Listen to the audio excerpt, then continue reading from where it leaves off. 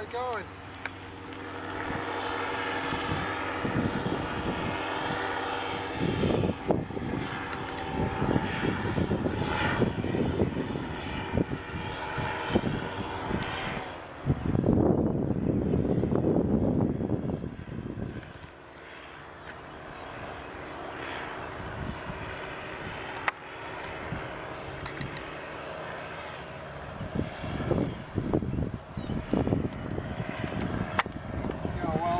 Well, up when he's got to come back downwind.